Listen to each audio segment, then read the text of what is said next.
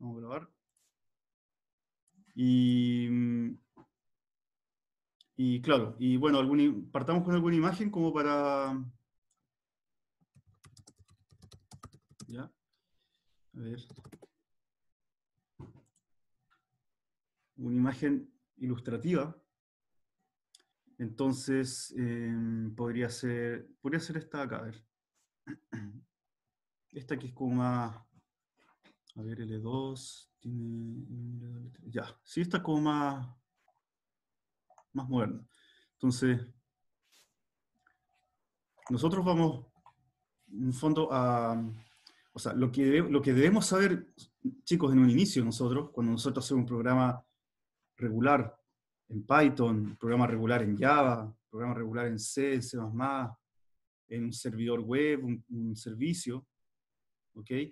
Todo eso lo que provoca en la máquina es que provoca una utilización de un núcleo, de un núcleo de nuestra CPU, ¿ok? Y eso lo maneja, por supuesto, con, con la ayuda del sistema operativo. Entonces, llega nuestro programa, llegan las instrucciones, ¿no es cierto? Ya hemos visto que todo llega a través de un set de instrucciones, un, listado de instrucciones a ejecutar. Y, los accesos a memoria quedan cacheados en, la L3, después pueden quedar en L2, L1 por dentro, pero eventualmente, si ese programa fue escrito de manera tradicional, va a terminar siendo ejecutado, esas instrucciones van a terminar siendo ejecutadas en un núcleo. Un núcleo son estas aglomeraciones de circuitos que son capaces de funcionar como, la CPU promete, promete decir que va a funcionar. Y, resulta que hoy en día el sistema operativo no es capaz de, y la CPU menos, no son capaces de utilizar todos los núcleos automáticamente para un solo problema. Eso hoy día no existe. Con la salvedad de algunos, algunos peros que podría decir, pero no quiero irme como por la rama, en general no existe eso, digamos, ese estado del arte. Ojalá exista en el futuro, pero hoy en día, lamentablemente, no tenemos paralización automática eh, a este nivel. Por lo tanto, la única manera en que nosotros, si queremos ocupar todos los núcleos para solucionar un solo problema en común, que es como particionar el problema en partes chiquititas en el fondo, tenemos que hacerlo nosotros como programadores, en el código, tenemos que, vamos a tener que reflejar esa intención programando de cierta manera. Así que así es hoy, pero nada, nada quita que, que quizás en 10 años más puedan hartas de estas cosas ocurrir automático. Ojalá, esperemos. Entonces, eh, de todas maneras, el, el, el, área de, de paralelismo que pertenece a un área más grande que se llama computación de alto rendimiento, son áreas súper eh, relevantes hoy en día. Son, son áreas que, de alto impacto, donde, si bien desde cierto punto de vista se puede considerar como nicho, ¿ok? Eh, desde otro punto de vista se considera como muy necesario e importante. Y, y bueno, en, países como más, más en la punta de la flecha con la tecnología, como Estados Unidos, que hay algunos países de Europa, China, Japón, el, el tema de computación de alto rendimiento y, saber utilizar bien los procesadores paralelos, o eh, otorgar una buena aceleración, etcétera, son temas eh, altamente relevantes hoy en día. Tiene impacto en, en inteligencia artificial, todo lo que es sistemas de tiempo real, recuerden, recuerden todas las cosas que se están tratando de lograr con los sistemas en tiempo real. Chicos, recuerden en el fondo em, los, em, quería decir, los vehículos autónomos, ¿ok? Eh, déjenme mostrarle Pensé que les estaba mostrando la foto hace rato, chicos. Recién se la estoy mostrando. Ya. Eh, ahí sí.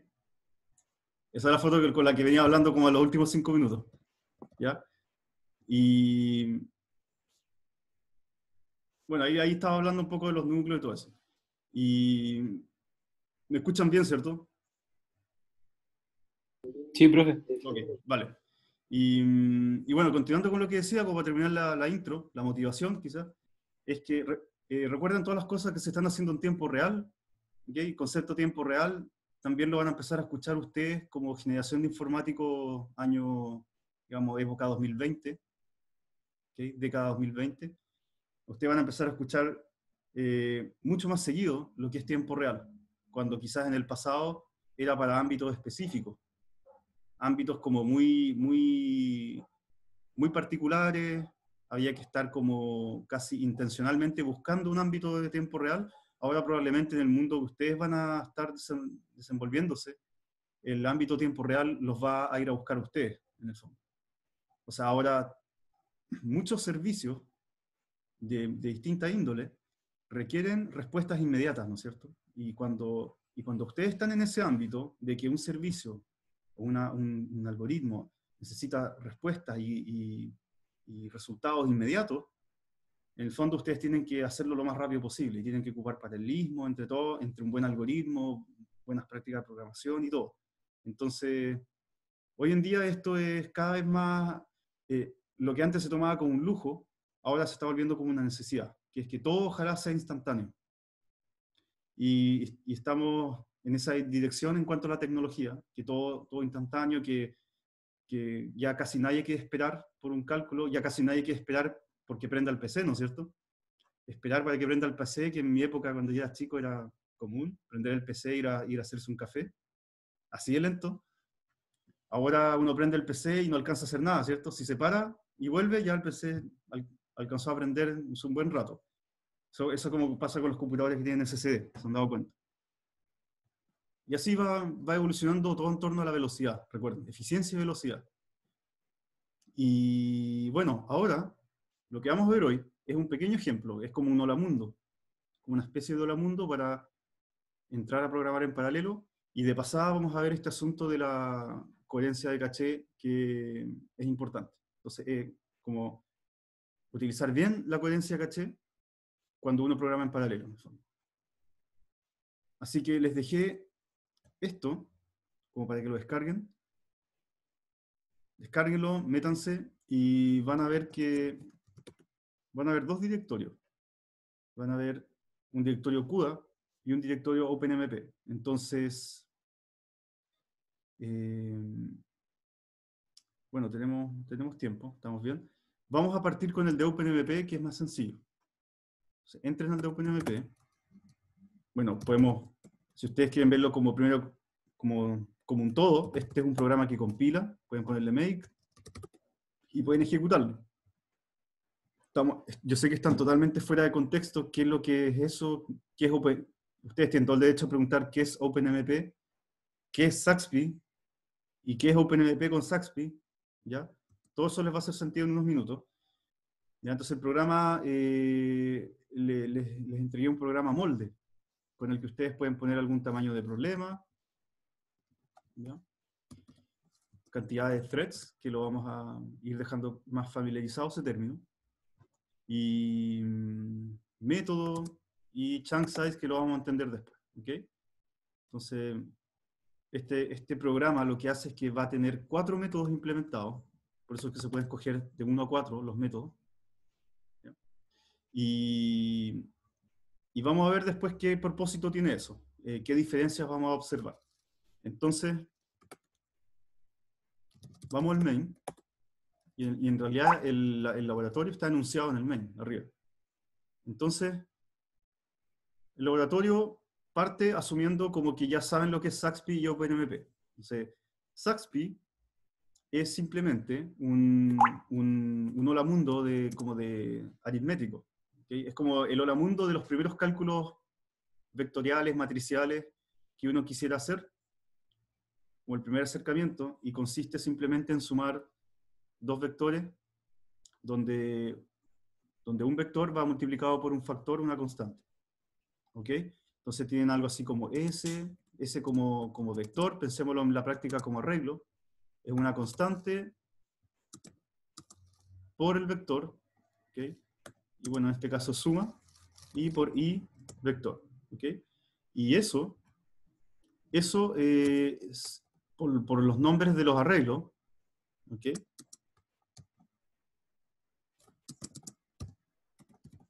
se termina llamando Saxby por, en el fondo, S, A, X, plus I. Entonces, como que queda como Saxby, en el fondo. En la práctica lo van a encontrar como Saxby, el ejemplo. ¿Y qué es lo interesante acá? Que, que nosotros tenemos, son vectores, ¿ok? Con n, con n componentes, cada uno. ¿Ok? Entonces nosotros para hacer el problema interesante vamos a hacer vectores de muchas dimensiones. O sea, olvidémonos, olvidémonos de vectores en dos o tres dimensiones porque el cálculo sería muy sencillo. Si pensemos que son vectores más como de, del tipo de, data science, ciencia de datos, ¿ok? Eh, machine learning, donde son vectores de muchas dimensiones. ¿ya? Pensemos incluso exagerado, puede, puede llegar a ser un millón de, un millón de, de dimensiones. Incluso a veces ciertos problemas se pueden, que, que no se hablan en términos de dimensiones, eh, se puede representar como un Saxby porque son problemas como tablas. A veces uno suma una tabla con otra tabla y suma una columna con otra columna. Entonces imagínense que una columna con otra columna sí pueden tener millones de datos fácilmente, ¿no es cierto? ¿Ok? Y todo aplica. ¿ya? En el fondo estos véanlo como, como una lista, otra lista y otra lista, pero son listas con valores numéricos, entonces se puede operar, sumar, multiplicar, etc.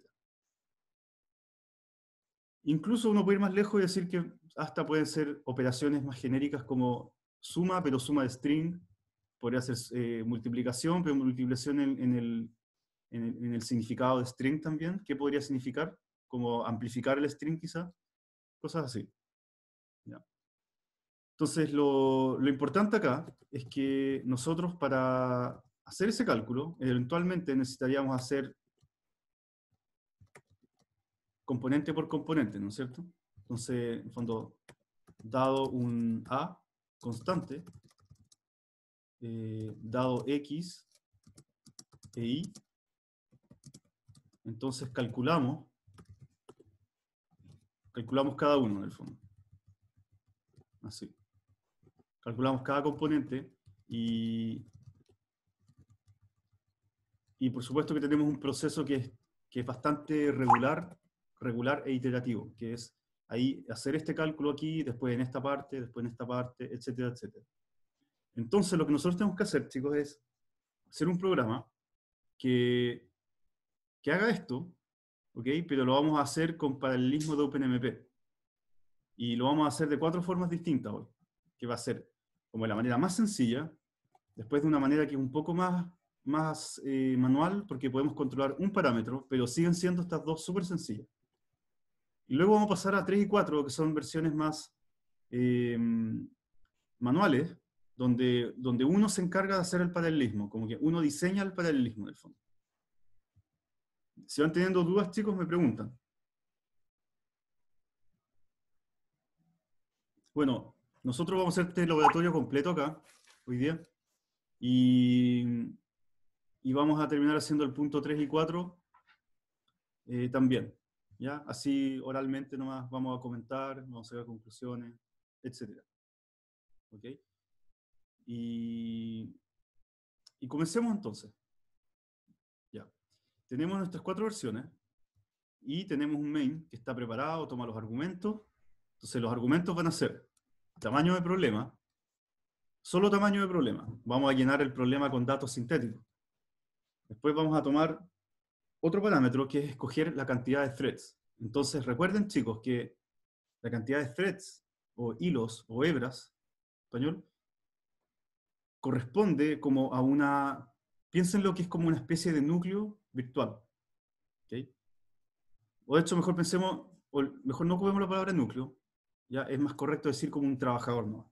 Es un trabajador que va a ser capaz de ejecutar instrucciones.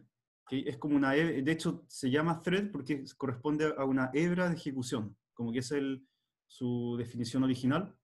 Una hebra de ejecución porque pueden haber varias hebras en fondo ocurriendo y estas pueden ocurrir al mismo tiempo, tienen todo el derecho a ocurrir al mismo tiempo. Entonces... ¿Profe? Sí, dime nomás. ¿Es más probable que se ocupen varios hilos a la vez a que se ocupen varios núcleos?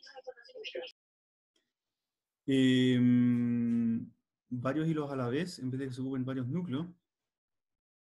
Mira, en realidad, o sea, lo que ocurre, lo que ocurre es que, claro, a ver, lo primero que todo es que nosotros como programadores, lo único que podemos hacer, y de hecho cualquier, cualquier persona que hace un programa, lo único que podemos hacer es escoger threads.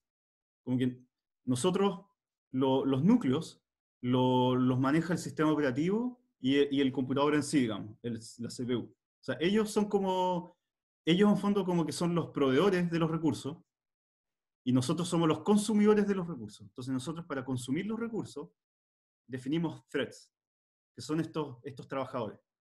Entonces hay una relación muy directa entre threads y núcleos, pero son como las caras opuestas de la moneda, en el sentido de que el núcleo es el recurso y el thread es el que va a consumir el, el núcleo.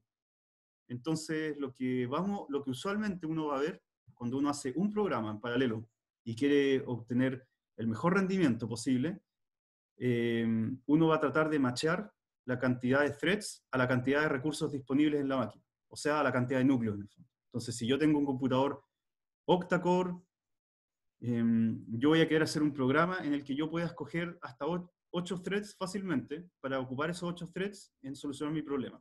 Y cada thread se va a ubicar en un núcleo distinto y voy a estar ejecutando realmente esos threads en paralelo. Ahora, como estás a... No sé si eso te contesta la pregunta. Sí, entiendo. Vale, ok. Bien, y, y lo, lo importante sí es que lo importante es entender por qué no son lo mismo y hay una segunda razón por qué no son lo mismo, porque ustedes pueden tener un computador de un núcleo, o de dos núcleos si quieren, de pocos núcleos pensemos, y ustedes pueden ejecutar, pueden crear muchos más threads de lo que, de lo que núcleos hay. Y, lo que va a hacer el sistema operativo es que va a manejar una cola y va a ir ejecutando los threads eh, en algún orden que no, no, no, tenemos garantizado cómo va a ser, pero, pero va a hacer que todos los threads terminen ejecutando en los recursos disponibles que hay. Obviamente, eh, si yo pongo, si, tenemos, si seguimos con el ejemplo, que tenemos una máquina de dos núcleos, dos núcleos nomás, poquito, y yo ejecuto un programa y le pongo, le pongo 20 threads, ¿ok? Así bien exagerado, 20 threads, mi computador lo mejor que va a hacer es ejecutar el programa cerca de dos veces más rápido, porque son las cantidades de núcleos que hay. ¿no? Y, va a turnar los threads. Es como, piensen que es como la, quizá una buena analogía, es como pensar las cajas del supermercado, que sean los núcleos, y los threads son como las personas que llegan a las cajas, con, su carro para procesar, como para, para, pasar los códigos. Entonces, puede haber mil personas, ¿ok? En un supermercado adentro, puede haber una cajera va a demorar caleta, pero si hay dos cajeras, podría llegar a ser el doble rápido, ¿no es cierto? Y así. Entonces los núcleos son como las cajas y, los y los threads son como las personas que llegan con los carros, los carros de compra. Entonces nosotros lo que podemos hacer, lo, lo, que, el sentido común, lo que nos dice el sentido común, muy importante que les nazca esto como sentido común, más que como una regla, sin entender, es que uno, uno va a querer ocupar la cantidad de threads acorde a la cantidad de núcleos nomás. O sea, pasarse de los núcleos no tiene mucho sentido. Solamente es crear una cola y no va a, y no va a subir el rendimiento. No sé si me entienden.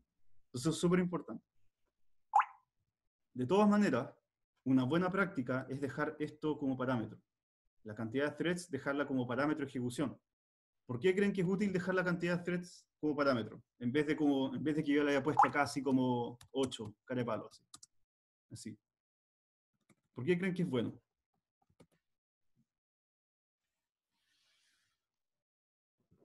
Porque no todos los computadores tienen la misma cantidad de núcleos? Excelente respuesta esa. Yo creo que esa cubre todo al tiro. ¿No es cierto? Los computadores son distintos. Entonces, si ustedes le pasan su código a un amigo, no tiene por qué tener el mismo CPU, ¿no es cierto?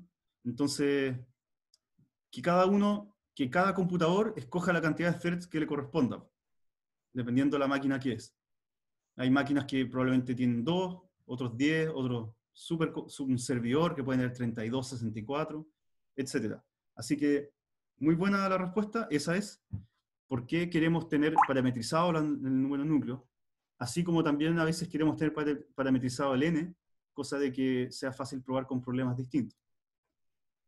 Y bueno, y lo otro es el, el, algoritmo que vamos a escoger, que es como la variante de solución de las cuatro que vamos a hacer, y lo otro es chunk size, que lo vamos a ver a continuación. Bueno, en OpenMP, chicos, OpenMP es un estándar que existe hoy en día. Entonces vamos a revisarlo aquí. OpenMP tiene mucha documentación. OpenMP es, una, es un estándar de programación multicore que ha ido siendo cada vez más popular y yo encuentro que tiene características muy positivas, muy buenas como para entrar en lo que es computación paralela. Entrar y, lo mejor de todo, tener resultado positivo en el fondo. Tener, como sentir en el fondo que uno logró acelerar una solución con poco esfuerzo. Y esa sensación que queda es muy motivadora como para seguir entrando en el área. Y eso es lo que vamos a ocupar hoy, OpenMP. No sé si alcancemos a ocupar CUDA hoy, pero si no lo vamos a ocupar el viernes, seguro que en la última clase revisamos un lab con GPU, ¿vale? Y ambos son súper importantes por los dos lados. Así que, en fondo, súper bueno que vamos a cubrir ambos. Bueno, OpenMP esta es como, estas preguntas, estos tips, esta información que le voy a dar siempre es útil. Siempre es útil cuando uno ve una herramienta y, alguna, y como algunas preguntas básicas, por ejemplo. OpenMP, ¿se compra? No, no se compra. ¿Tiene sentido hablar de, hablar de instalar OpenMP? ¿Tiene sentido hacer esa pregunta como, ¿tengo que instalar OpenMP? No tiene sentido esa pregunta. ¿Por qué? Porque OpenMP viene incluido en los compiladores como es un estándar, y como es tan así, tan estándar, y tan útil para todos, lo incluyeron en los compiladores. ¿Qué quiere decir eso? Que cuando ustedes instalan G++, GCC, y algunos otros lenguajes, creo que Fortran, bueno, y creo que por ahí nomás, no, no, no están todos los lenguajes, después en otros lenguajes hay como unas emulaciones, que por debajo llaman C, eh, pero los lenguajes que les dije, C, C++, Fortran, y algún otro, tienen incluido OpenMP en su compilación, o sea, en su compilador. Lo tienen incluido como, ojo, como opcional. Si tú quieres, si tú quieres decir que quieres ocupar OpenMP, lo indicas en la compilación. Pero si tú no quieres ocupar OpenMP, no haces nada, en el fondo. No, es que tengas que decir que no lo voy a ocupar, sino que hay que decir que sí lo vas a ocupar, en el fondo. Ese sería como el aviso que habría que dar al compilador. Y así que, por lo tanto, OpenMP viene, si ustedes, tienen, si ustedes pueden compilar un programa en 6, C++, desde antes, ya tienen entonces eh, instalado, como lo que se sentiría como decir instalado, OpenMP. Ojo que no confundirlo cuando en el futuro ustedes lean esto, no confundirlo con esto. OpenMPI, que es otra cosa, que se llama muy parecido y de hecho ambas tienen que ver con computación paralela, pero son cosas distintas, ¿ok? no, quiero confundirlos ahora, así que no quiero, no quiero definirles OpenMPI porque se les puede enredar por ahora, que están aprendiendo OpenMP, pero son cosas distintas, cosas distintas del mismo ámbito. ¿Ok? Ya. Entonces nosotros estamos, recordemos, OpenMP nomás, sin la I. Y mm, vamos a, vamos a ver cómo se, entonces, habiendo dicho todo eso, veamos si es cierto. A ver, ¿qué hay que hacer para programar en OpenMP? Primero que todo, tenemos que incluir una cabecera. Bueno, OpenMP, a todo esto, lo más importante, OpenMP es la herramienta que nos va a permitir, justamente, nos va a permitir ahora hacer un programa, un solo programa, y ocupar todos los núcleos para ese programa. O si queremos ocupar la mitad del núcleo, un cuarto, etc. Lo vamos a escoger nosotros al ejecutar. Así que OpenMP nos abre esta, esta puerta, que es ocupar la CPU, por primera vez ocupar la CPU completamente para una tarea. Algo que quizás uno creía que estaba pasando, pero no estaba pasando en verdad.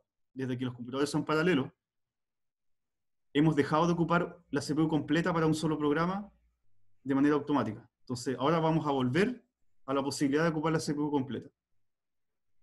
La posibilidad que tenían, por ejemplo, nuestra generación anterior. generaciones anteriores, de personas que trabajaban en los 90, que sí la ocupaban completamente, por defecto. Entonces, chicos, vamos a, vamos a, comenzar. Lo primero que hay que hacer, que viene hecho, lo primero que hay que tener, poner nota aquí es incluir cabecera OpenMP que se llama omp.h. ¿Okay? Ya existe ya. No deberían tener problema. Ustedes la incluyen y, la, y cuando ustedes compilen va a encontrar la cabecera. Luego, tenemos que, bueno, les voy a contar al tiro la compilación cómo es, cuando ustedes compilan con OpenMP. Nosotros hemos estado compilando con OpenMP varias veces. ¿okay? De hecho, yo, le, yo les introduje OpenMP en algunos laboratorios que hicieron para que puedan medir el tiempo. ¿Se acuerdan cómo medían el tiempo? Con el T1 igual a OMP get wtime, después un T2 llamada la misma función. Bueno, yo les di esa función porque era bien cómoda, pero esa función pertenece a OpenMP. ¿Okay? Entonces, por eso que ustedes probablemente ya compilaron con OpenMP sin ocupar OpenMP más que la llamada al tiempo. Pero eso eh, de todas maneras es positivo porque tienen el molde de lo que es incluir la cabecera y compilar agregando también acá la, como la, el, linkeo a la, a, a la librería OpenMP. Es, eh, es particular la forma de linkear con OpenMP porque es menos F OpenMP. Y ese, ese F eh, parece que viene de Fortran. Es como Viene así nomás, por Fortran, que es el lenguaje previo, pero quedó así. Entonces, ahí está la línea, la línea de compilación y código fuente, ok. Si lo único que hay que agregar nuevo es esto. De hecho, podría ir adelante si uno quiere. Si le hace más sentido, como para dejar el resto de la compilación como usualmente es. Ahí. ¿Ok? Ahora vamos a volver entonces al programa. Entonces, tomamos los argumentos. Primera instrucción OpenMP. Vamos a ir marcando acá las OpenMP. Todos los OpenMP empiezan así. Y vamos a anotarlo acá. Así. Ok. Las instrucciones OpenMP, ojo, también hay que hacer una segunda diferencia. Segunda diferencia, que es que existen dos tipos de instrucciones OpenMP. La primera son instrucciones en tiempo de ejecución y la segunda son instrucciones en tiempo de compilación. Entonces, estas son las OMP con, algo después, ¿okay? un sufijo. Y las de compilación son las pragma OMP así, que las vamos a ver a continuación. Vamos a partir primero con las de ejecución. Entonces, esta es una, y fíjense lo que hace.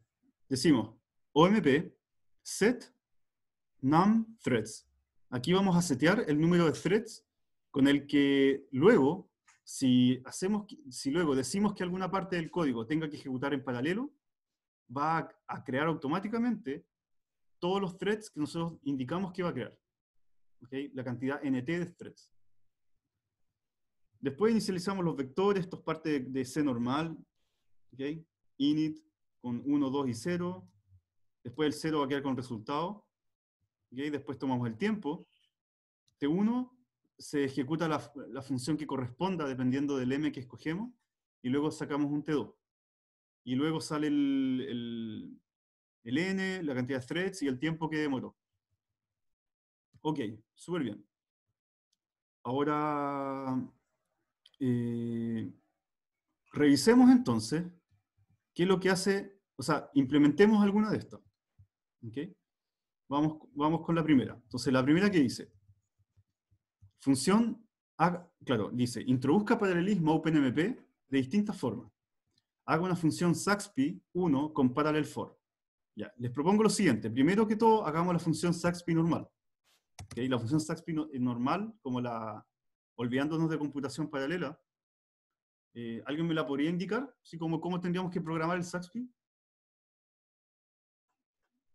Así como el concepto yo lo escribo, a ver, ¿cómo sería?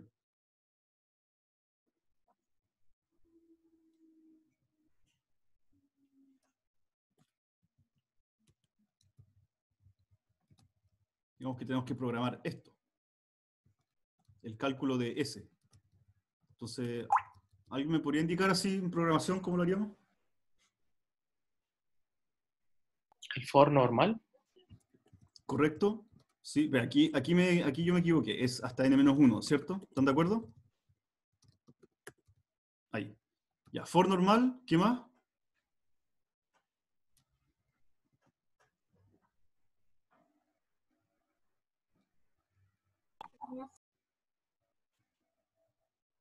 S en la posición Y va a ser igual a A por X en la posición Y más Y en la posición Y. Correcto, sí. Entonces vamos a hacer lo que dice su compañero. Ok, Pueden irlo implementando ustedes igual. Entonces S sub I es igual a A por X sub I más I por, E- por más I sub I. Nosotros estamos recibiendo el A, así que no hay problema. Estamos recibiendo el X, el Y y el S. Está y el N también. Y también tenemos un CS que no lo estamos usando por ahora, pero ya lo vamos a usar. Así que ahí está hecho. Está impecable, súper bien. Por eso le decía que el Saxby es como el Mundo, por si les sorprendió lo sencillo que es. Y, y veamos qué pasa. Este es el método 1. Ya debería empezar a retornar eh, tiempo. De hecho, veamos, esto creo que cuando es chico el problema lo... Ver. Ah, ya, no. Ah, sí, sí, sí, ahí. Ya. A ver. Vamos viendo, y ahí tenemos 1024, podemos poner por 1024, eso es como cerca de un millón. Y podemos ponerle un ejemplo por 100, sería 100 millones. 100 millones. Y podríamos poner 300 millones quizás, como para ir cerca al segundo. A ver. Todavía... to- Todavía le falta un poquito más. 500 millones, a ver. Eso, ojo que el tamaño problema, si están probando, chicos, eh, 500 millones tampoco es algo tan terrible, pero, pero vean si les alcanza la memoria. ¿Ok? Y, y ahí está demorando como, como más de un segundo, como para después al meterle paralización ese tiempo baje, ojalá. Nosotros, la cantidad de threads creo que estaba, ¿dónde era que estaba? Ah, ya, estaba acá. Es el primer argumento después del n. Entonces, si yo le pongo dos threads, veamos en qué está, antes que todo, chicos, veamos en qué está demorando tanto. Quizás en el init. A ver, hagamos, hagamos un print. Esto como que, una buena práctica desarrollando en C++, chicos, es que hagan iniciando arreglos, ahí. Ahí. Y acá le ponemos...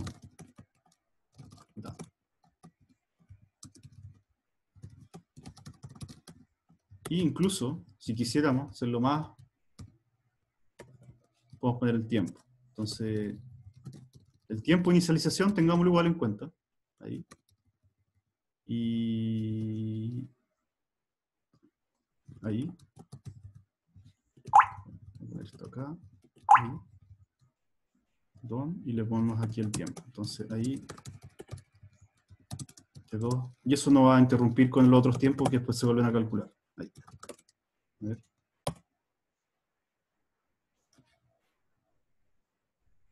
Claro. Y acá el Saxby em,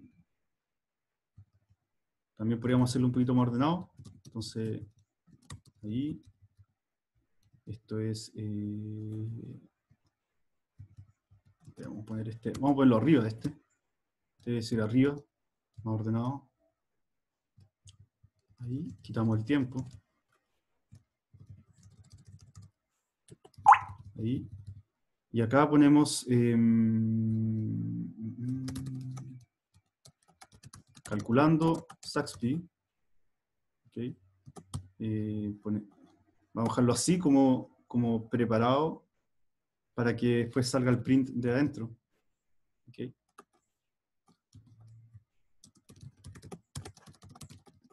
Ahí.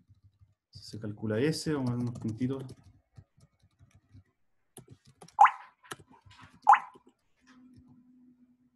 Hecho, podemos dejarle el puro número, ¿no? Así.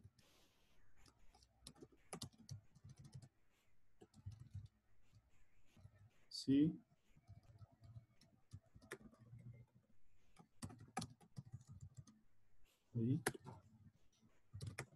Y el 4.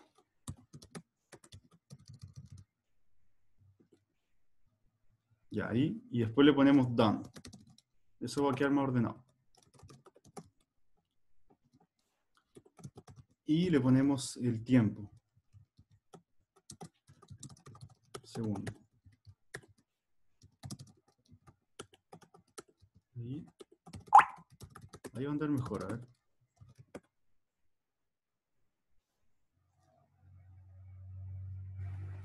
Eh, sí, parece que ahí. Claro, aquí faltó el F-Flash nomás. Profe, ¿para qué sirve eso? El F-Flash.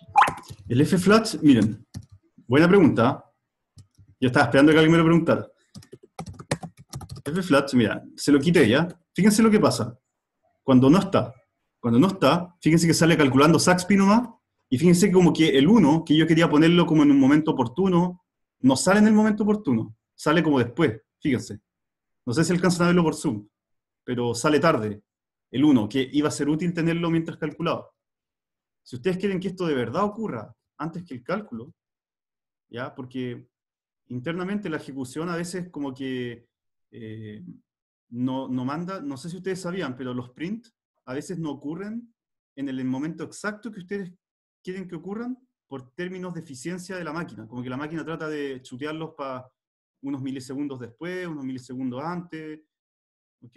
Em, como para manejar mejor lo que es la instrucción pura de, cálculo y todo esto. Eh, si ustedes quieren que ocurra de verdad el momento que, ustedes dicen que quieren ocurrir, hagan el F-Flash, que es como que el buffer, de, el buffer de lo que está pendiente por imprimir, lo van a imprimir en ese momento. ¿okay? Eso hace la instrucción que acompaña. Entonces ustedes fuerzan a que el print salga en ese momento, sí o sí. Ya, ya el, el computador no va a jugar con eso. Entonces, si lo agregamos, es súper conveniente si ustedes quieren tener un programa que al ejecutarlo refleje lo que está ocurriendo. Y ahí sí sale el 1, cuando corresponde. ¿Ok?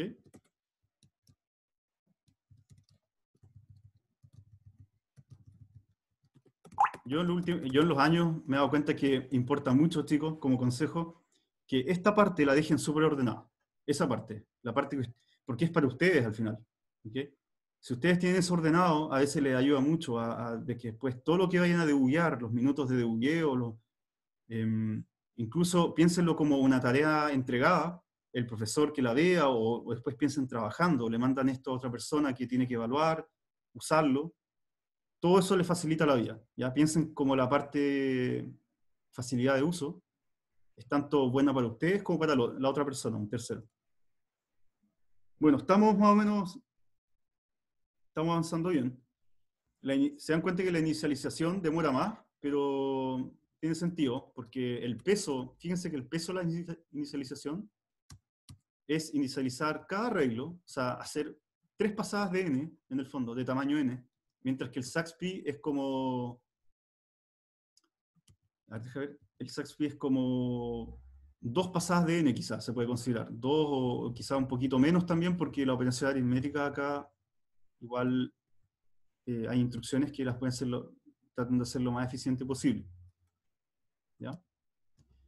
Em, claro, está demorando eh, un, poco menos el, el, SAXPI, pero bueno, eso es parte del problema. Si, ustedes, si nosotros podemos acelerar, además del cálculo, acelerar la inicialización de datos, mejor aún, ¿ya? Mucho mejor. Vamos a seguir avanzando. Entonces tenemos, vamos a dejar todo esto. A ver, esto lo vamos a dejar como paso 1. Inicializar cantidad de threads. O sea, no inicializar. Oh, me, corrijo, me corrijo. Setear. A ocupar. Ojo que cuando ustedes ponen esto, no es que signifique que de aquí en adelante están corriendo cosas en paralelo. Eso no significa, no significa eso, sino significa que cuando lo ocupen, ese va a ser el valor, no van a tener que especificarlo más adelante. Todavía no lo hemos ocupado nada en paralelo. Entonces acá está eh, creación de vectores, ok.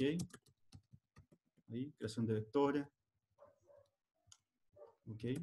Después viene acá, cálculo Saxby. Ya. Bien. Y terminamos. Eh, no sé si yo tenía un print arreglo acá. Print arreglo, no, no tenía print arreglo. Ya, pero si ustedes quieren, si queremos, imprimamos el resultado al final. Entonces hagamos una función parecida a esta. A la init Vamos, llamémosla print vec. Entonces recibimos un arreglo cualquiera, llamémoslo x, cualquiera, así. Tamaño, un tamaño, tenemos que darle, recordemos que los arreglos en C son medios primitivos. ¿ok? No tienen codificado el tamaño adentro, a menos que ocupemos std vector. Y le vamos a agregar también un, un mensajito como para decir si está, nosotros desde afuera podemos dar una pista de qué arreglo estamos imprimiendo. Entonces, acá vamos a imprimir, ¿ya? vamos a imprimirlo yo creo que hacia el lado. Vamos hacia el lado, entonces em, vamos a poner eh, ahí, vamos a poner, vamos a imprimir el string que, que, que, mandamos como mensaje, ahí, y después cerramos la lista, como si es como, dando, como dándole una forma de lista en el fondo. Aquí me, me ah. Y acá vamos a imprimir entonces los elementos. Ahí, espacio, y x subir. Ok, y acá salto línea. Entonces al final vamos a imprimir vector. Vamos a print, ¿cómo se llama? Print vec. Print vec. Vamos a imprimir, imprimamos x, le ponemos x, y y s. ¿ok?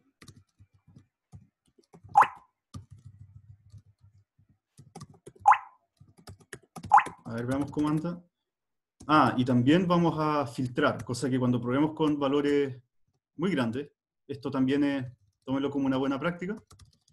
Entonces, si, si n, por ejemplo, es, es, es mayor que 32, entonces simplemente return, no hacemos nada, sino vamos a poner, vamos a florear la pantalla de texto cuando tengamos arreglos muy grandes.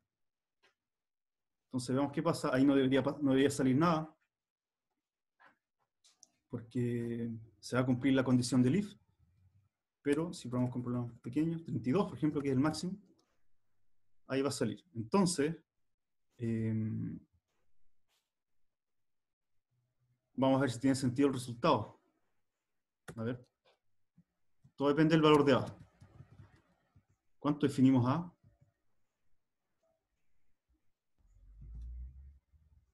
Era 10, claro. Sí. Podemos dejar A en 1 quizás, como para que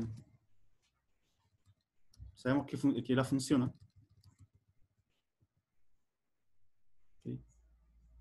Sí. O, o, bueno, sí, en realidad el A es como un factor nomás, no importa. De hecho, ponemos, sigamos dejando en 10 en realidad, para que tenga sentido. Ahí. ¿Y qué les iba a decir? Bueno, no sé, a ver, aprovecho algunos tips de, del- como del lenguaje. Acá, si ustedes quieren imprimir con un formato un poquito más ordenado, le pueden dar, por ejemplo, 2. Punto 2i, o sea, no, 2i nomás. Entonces ustedes están- están diciendo que quiten dos cifras para cualquier entero que imprima. Independiente incluso si el entero tenga una cifra, le va a quedar como, como en un marco de dos cifras. ¿ya? ¿Para qué sirve eso? Justamente para ver este tipo de resultados de forma más cómoda, así.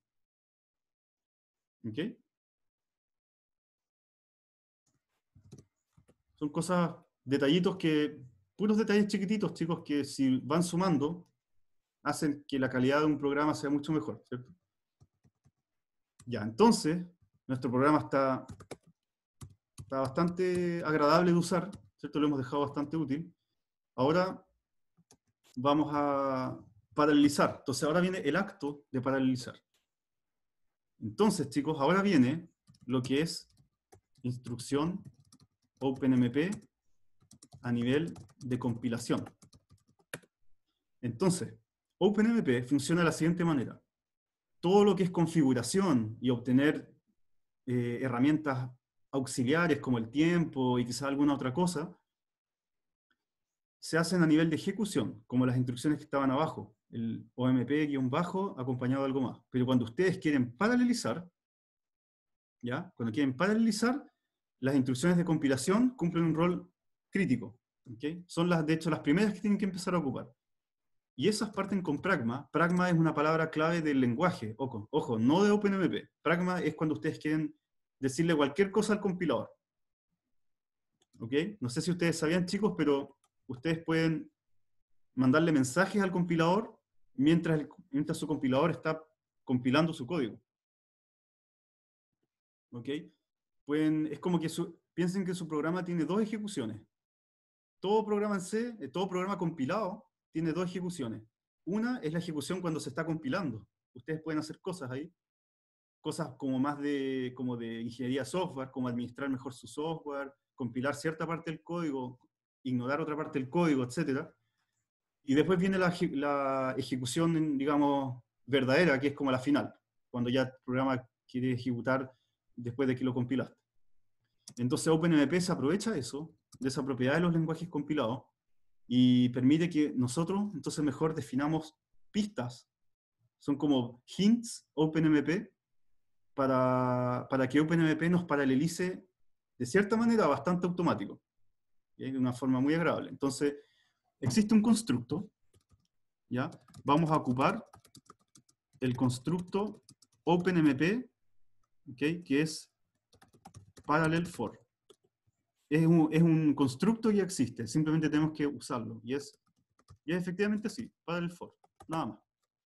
¿Qué va a hacer este parallel for? Va a paralelizar este for automáticamente. Ustedes no tener que hacer nada. Simplemente tienen que encargarse de dejar esta instrucción, esta pista, al compilador antes del for, y cuando el compilador pase por aquí, va a pescar este el for y va a decir, ah, esta persona quiere ejecutar este for con OpenMP y con un parallel for. Entonces, internamente, cuando genere las instrucciones para la CPU, va a generar instrucciones paralelas. Va, a ejecutar, va a eh, generar instrucciones como, por ejemplo, que, que en base a la cantidad de threads que ustedes definieron, NT, va a decir ya, el primer thread que ejecute de aquí hasta aquí, el segundo de aquí hasta acá, el tercero de aquí hasta acá, y como que lo va a particionar en distintas porciones. Entonces, maravilloso de cierta manera. Los for, chicos, se pueden paralizar así de fácil, hoy en día. Hace harto tiempo, de hecho, que se puede. Vamos a ver qué beneficio tenemos. A ver, vamos si ganamos algo con eso. Entonces tenemos ya, ahí estamos. Bueno, tengo que tener un problema grande, ojo. Si tenemos problemas pequeñitos, también tengo que revisar eso. Ahí. ¿Ok? Eso es con uno, con un procesador. Ahora fíjense qué pasa si lo tiramos con dos procesadores, o sea, con dos threads, perdón, dos threads, disculpen. Con dos threads, vamos a ver si el cálculo de Saxby mejora en algo.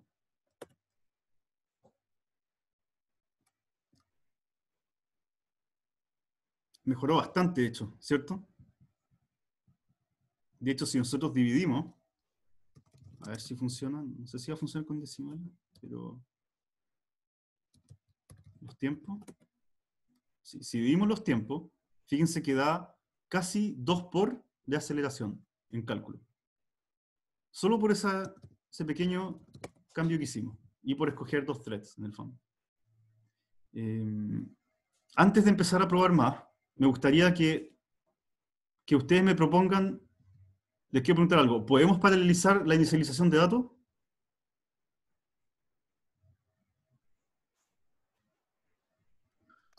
Sí.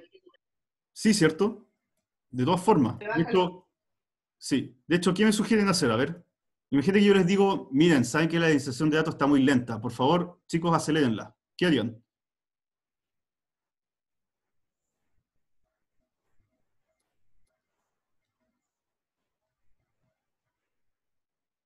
¿Alguno me propone? Así como, Con el parallel for, ¿ya? ¿Dónde lo vamos a ubicar? Eh, cuando se inicializan los vectores. Por ejemplo, acá, initVec, en la función initVec, ¿cierto? Claro.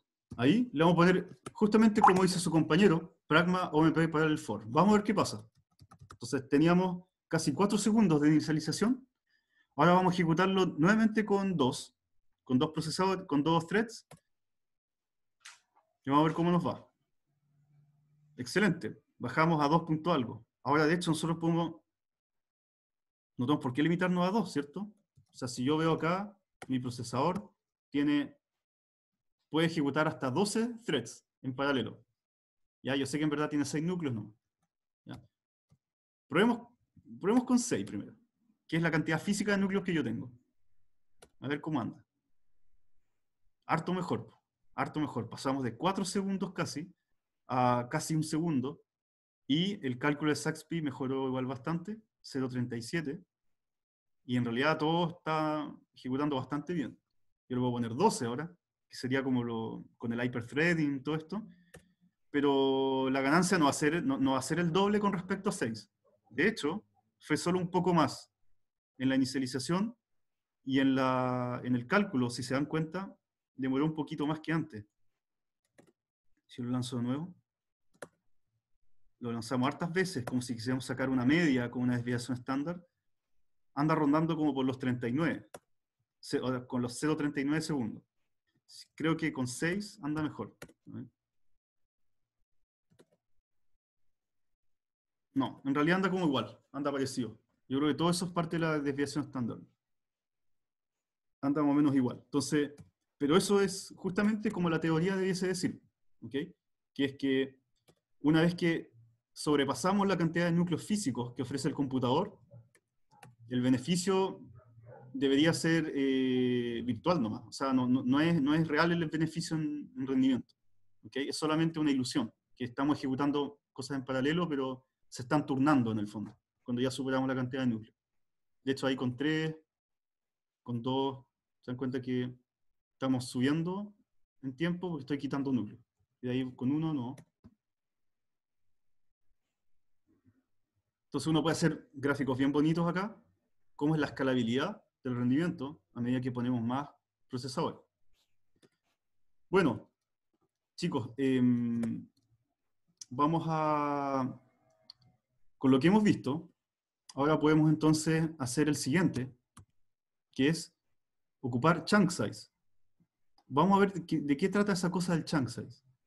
Entonces, el SAXPY2, ¿qué vamos a hacer?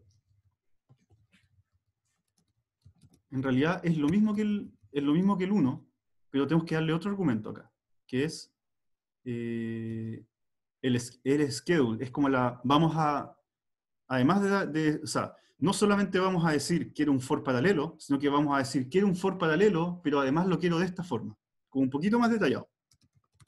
Entonces tenemos que poner una definición del schedule. ¿Cómo va a ser la planificación? Y en la planificación vamos a escoger que sea, eh, la planificación se refiere a lo siguiente, chicos. Si ustedes tienen trabajo aquí, ejemplo, X1, X2, X3, X4, X5, X6, X7, X8, tienen todo eso, digamos que eso fuese trabajo, hay que procesar esas cosas, ocho cosas. El schedule nos va a permitir decir si la partición es estática o dinámica, y si además, si es estática, em, de, qué tamaño es cada porción. Cada porción. Eso es el chunk size. Entonces, ¿a qué se refiere? Que, por ejemplo, si, yo digo que, que mi chunk size, chunk size igual 2, lo que va a pasar es que se va a definir em, x1, x2 como un subtrabajo, después x3, x4 como otro subtrabajo, x5, x6, otros, otro subtrabajo, y después x7, x8, otro subtrabajo. Y, lo que va a hacer es que si yo escojo eh, un thread, ya, por ejemplo, si yo escojo un thread nomás, entonces a todos se los va a asignar el thread 0. al, al único que va a haber, al único que va a existir en la ejecución. ¿Ok? Eso sería como con, con NT1. ¿Ok? Pero si yo escojo NT2, ¿ya? Si escogemos NT2, ¿qué, qué creen que va a pasar? A ver, con NT2. ¿Cómo se- va a ser la asignación de, la- de los lotes, de los chunks en el fondo? El primer chunk al 0 y el segundo al 1. Y así. Correcto, correcto, sí, justo sí. ¿Y después qué va a pasar?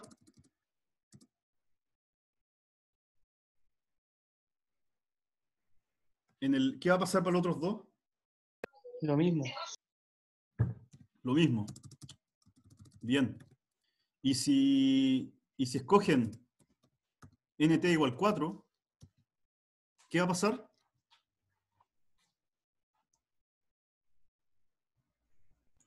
Cada uno va a tener uno, ¿no? Correcto, cada uno va a tener uno. Y se dan cuenta que todo eso ocurre automático, toda esa asignación y partición ocurre automático gracias a lo que ustedes definan acá.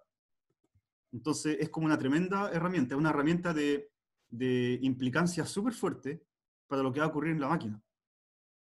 Ustedes con pocas palabras, son palabras muy fuertes en fondo, lo que, van a, lo, lo que pueden definir con poco texto. Em, bueno, van a pasar otras cosas, como por ejemplo, hay valores de NT que son más, más afortunados que otros. Por ejemplo, valor de 3, ¿lo consideran afortunado o no tan afortunado? ¿Qué piensan? NT igual 3, en base, al, en base a lo que quedó, en base a lo que se produjo acá, que es como lo- los lotes de trabajo. ¿Qué creen? ¿Cómo, cómo quedaría mejor? Veamos cómo quedaría. Quedaría una cosa así, T0, T0, T1, T2 y T1, ¿no? T2 y T0 de nuevo en el fondo. T0, Sí. Entonces, ¿qué, qué pueden decir? Qué, qué pueden decir del N3? Digamos, de haber escogido N3, NT igual 3. Como, ¿Qué sensación les queda? Que T0 tiene doble de carga a comparación de los demás. Perfecto, ¿cierto? Eso lo podemos decir que el, el- el trabajo está desbalanceado. Así se, le- se suele decir, desbalanceado. ¿Ok? T0 hace el doble. Y eso, por supuesto, que no, no es bueno si nosotros queremos tener el mayor rendimiento posible. No es bueno. O sea, estos de acá, balanceado por definición, digamos, aunque no sea útil. Este es balanceado también. Y el último, el último es balanceado. De hecho, eh, claro, y si uno fuera más allá, digamos, solo para entender los límites, casos de borde, NT, NT igual 5, em, también es válido, ¿ok? Pero por supuesto que eh, por la definición de balanceado desbalanceado, se va, ¿cómo lo van a categorizar el último?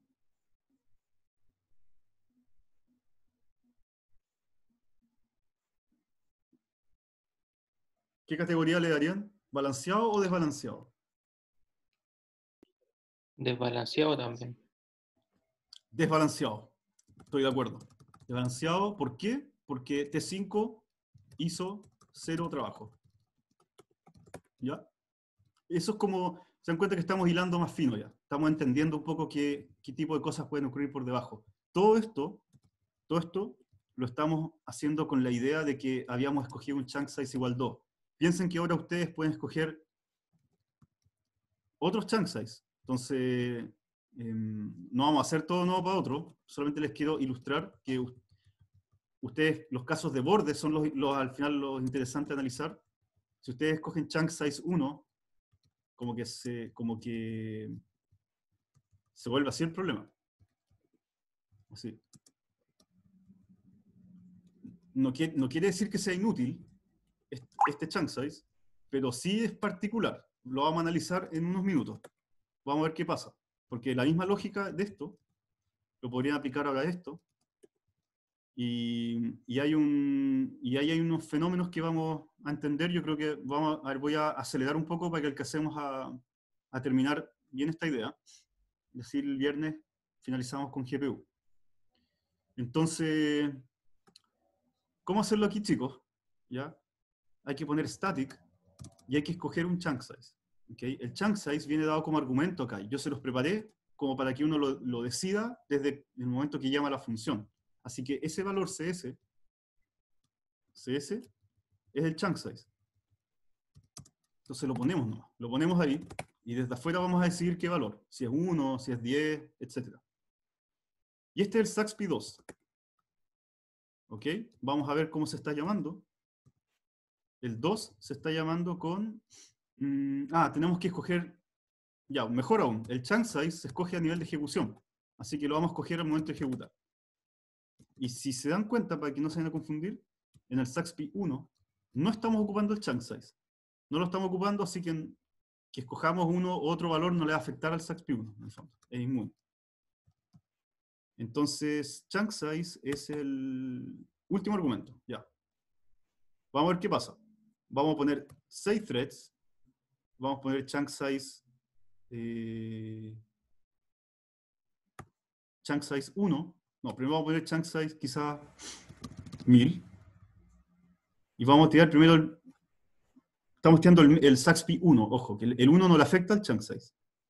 Ya, vamos a usar dos veces, a ver si tiempos son estables. Sí. Ahora voy a lanzar el 2, que sí, tiene, sí considera el chunk size. Entonces va a trabajar lotes de 1000. ¿Ya? La manera que ya lo pensamos. Veamos cómo anda. Un poquito peor parece. Sí, un poquito peor. Ahora, el enunciado decía... ¿Qué decía el enunciado? Decía probar con chunk size 1 igual a 1. ¿Ok? Vamos a ver qué pasa con chunk size igual a 1.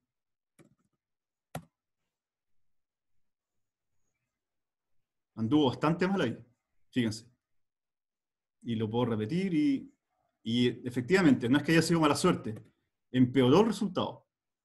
Y si yo le mando un chunk size como de 1, 2, 3, 1, 2, 3, 1 millón, o sea, lotes de un millón, bien separado el problema, se dan cuenta que nos empezamos a acercar al tamaño, al, al rendimiento tope que tenemos con la primera solución. Entonces, primer, primera observación que tenemos que hacer ahora es que pareciera ser que a la CPU le gustan los, los lotes de trabajo grandes o suficientemente grandes y no tan pequeñitos. ¿Ok? Entonces, en el fondo, y, vamos, y hoy día vamos a entender algo súper importante, en el fondo acá, si ponemos nt igual, ya, nt igual 4, ahí. ¿Ya? Aunque sea balanceado, aunque sea balanceado, esta lógica de tener problemas pequeñitos para cada uno, y... Ah, no, tres nomás. Ahí. ¿Se dan cuenta que este es balanceado? Pero chunk size es pequeño.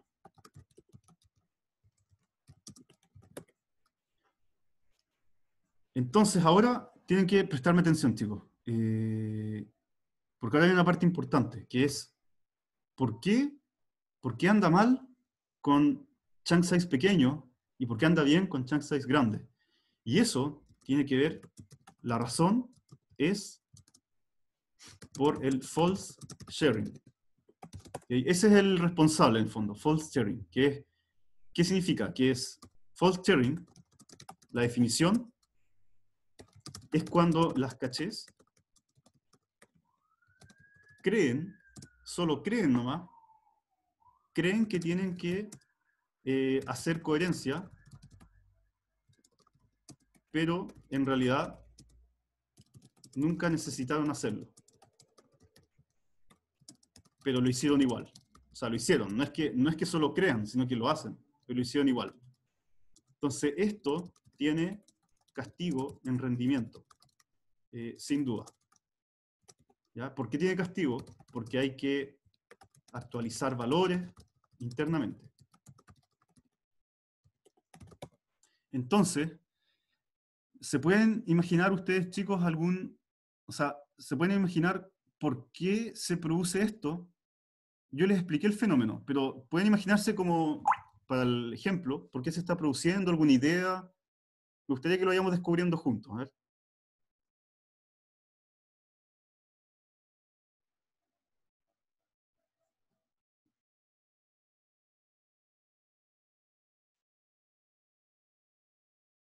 Bien, yo les, voy a dar, al comienzo no es tan visible esto. Por eso es que quería verlo con ustedes, que, se vayan de este curso sabiendo esto, que es súper útil. ¿Por qué ocurre? ¿Ok? Pensémoslo de esta manera. Miren, thread 0, core 0, ¿no es cierto? Se va algún core. Core 0 tiene L1, L2 de caché. ¿Ok? Pongámoslo así separado, L2. Y L2 tiene una línea de caché.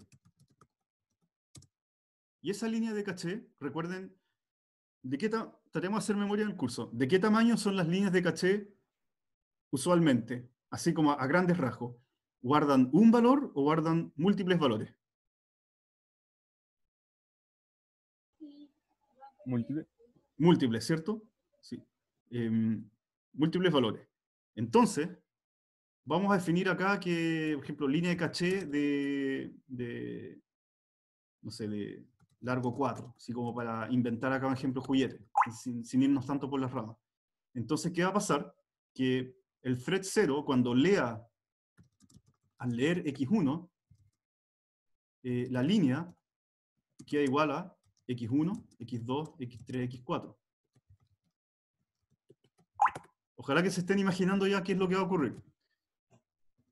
Cuando el thread 1 esté en el core 1, leyendo L1, trabajando con su L1 y L2, todo perfecto, pero cuando lea su valor, al leer X2, ¿qué valores va a traer para la línea de caché? ¿Qué creen? ¿Cuáles valores creen que va a traer?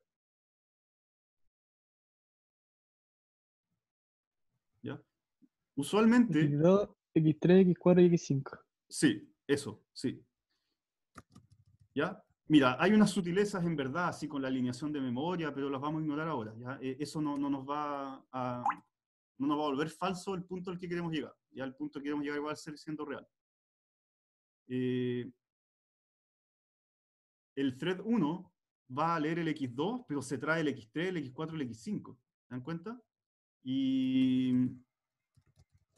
bueno, si nosotros avanzamos para el 2 y el 3, esos están en el core 2, core 3, que estamos pensando que, hay, que hemos ejecutado con un procesador paralelo, donde cada core puede hacerse cargo de cada thread. Claro, y acá X3, X4, ¿ya? X4, X5, y, y acá X5, X6, y acá X7, X8.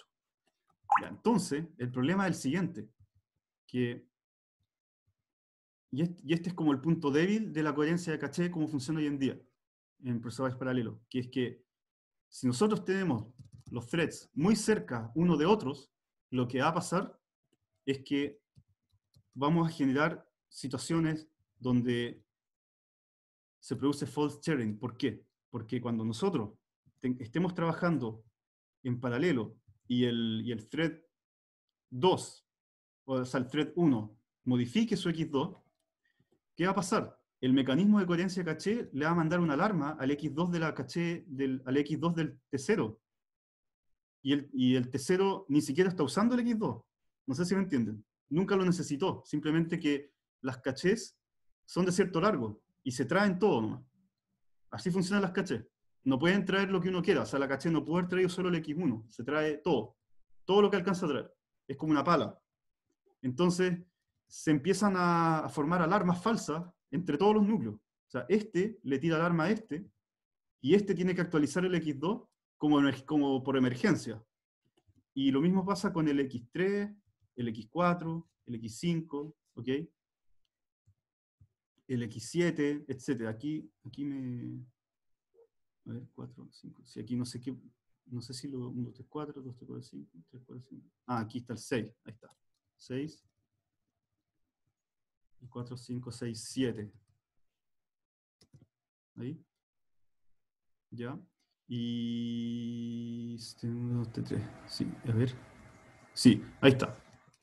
Y, y claro, entonces, y fíjense que eso es solamente para el primer dato que accede cada thread. Después cada thread, ustedes saben que accede al, después el, el 0 accede al X5, el, el T1 accede al X6, el T2 al X7 y el T3 al X8. Eso va- nuevamente va a volver a ocurrir el problema. Entonces, estas falsas alarmas que empiezan a ocurrir entre todos, que se vuelven locos, hace que se vuelvan locos, en el fondo, enviando datos por la CPU, como, como el, el mecanismo Snoopy se activa, se envía un dato, se hace un broadcast para los otros, y resulta que todo fue inútil, o sea, todo no, no o, o mejor dicho, no fue necesario, porque cada thread en realidad estaba trabajando con datos únicos. Ningún dato, ningún, ningún thread estaba compartiendo datos con el otro. Ese fenómeno se llama false sharing, para que lo recuerden, chicos, y es uno de los talones de Aquiles de la programación paralela, hay que evitarlo. ¿ok? Ocurre en CPU. ¿ok? Ocurre en CPU. Solución. ¿Cómo creen que se evita esto? En base a todo lo que hemos visto. ¿Cuál es la solución sencilla?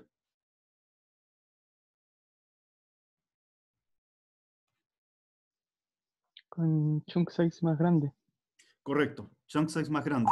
Y de hecho, eh, una buena técnica es que el chunk size, en realidad, para el caso de OpenMP, ustedes lo pueden ignorar. Y cuando lo ignoran, por ejemplo, como acá, al, al no definir chunk size, lo que se hace es que se escoge eh, por defecto chunk size igual a n partido en nt. Y eso es, bueno, positivo, porque esos son los segmentos más grandes que podrían salir. ¿Se entiende? Obviamente aquí se arregla todo internamente cuando no es múltiplo, de que el último, el último segmento podría pasarse del n, pero todo eso se arregla, no se preocupen. Todo eso se arregla internamente, ¿no? No de que se hace cargo ustedes del problema cuando ocupan el OMP para el for. Entonces, chicos, eh, no alcanzamos a ver el 3 y el 4, pero realmente no importa, porque el punto importante lo tocamos igual, que es el del paralelismo. Tuvimos aceleración, una buena aceleración, y, tuvi- y vimos el tema del fault sharing, que es como en CPU. Entonces, apréndanselo así como una especie de, como por ahora parece ser como una especie de regla por estos tiempos, que es que para la CPU, los trabajos que van a paralelizar, ojalá sean trabajos grandes para cada thread, cosa de que no vaya a ocurrir esta cuestión. Entonces, en el fondo que, la, que el, el resto de la línea, el resto de la línea de caché, siga teniendo trabajo que es para el thread 0, en el fondo. ¿Ok? Eso. Eso, chicos. Entonces, em, y eso efectivamente sí va a ocurrir acá, si lo vemos aquí. Acá. O sea, si empezamos a definir chunk size para el ejemplo de juguete que hicimos aquí, eh, a partir de 4, ya los cuatro valores van a pertenecer a la línea, y todo lo contrario, ahora va a ser súper rápido, porque se va a traer cuatro valores de una, y, para, el segundo, tercer y cuarto valor, no va a tener que acceder a la memoria RAM, sino que va a acceder a la L2 inmediatamente. O incluso a la L1. Así que, eso chicos, eso era. Entonces, ¿qué tiene que ver esto con arquitectura de computadores? Tiene que ver mucho, recuerden, mucho, mucho. Recuerden que arquitectura de computadores, todos los esfuerzos que se han hecho en los computadores para evolucionarlos tienen que ver con el rendimiento y la eficiencia. Re- Digamos que nadie, nadie, ha querido nadie ha querido convertir el computador en algo engorroso por convertirlo en algo engorroso, ¿no? sino que han querido ver formas de que el computador sea más eficiente y pueda entregar más rendimiento. Y, y bueno, si, como, para, que no queden con la duda de qué, en qué consistía 3 y 4, SAXPY 3 y 4 iba a consistir en, en implementar el paralelismo que vimos aquí, o esto que vimos acá también, de forma manual, así como haciéndose cargo ustedes. Esa es la otra manera de programar en OpenMP. Y es una versión súper potente.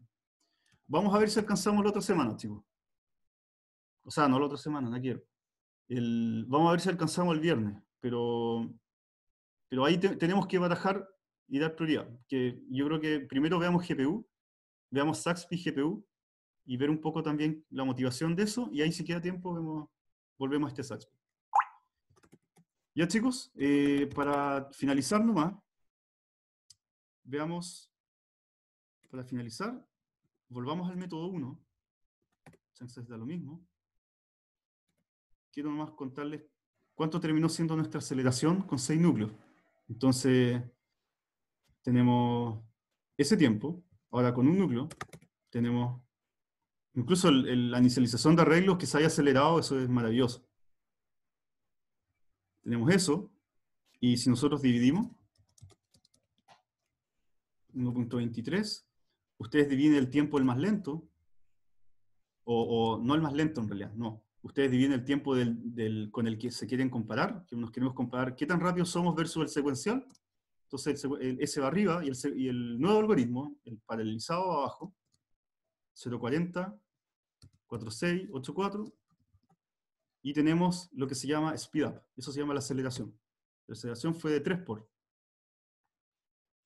Y eso nosotros también le podemos poner dividido en la cantidad de threads, o sea, que fue 6.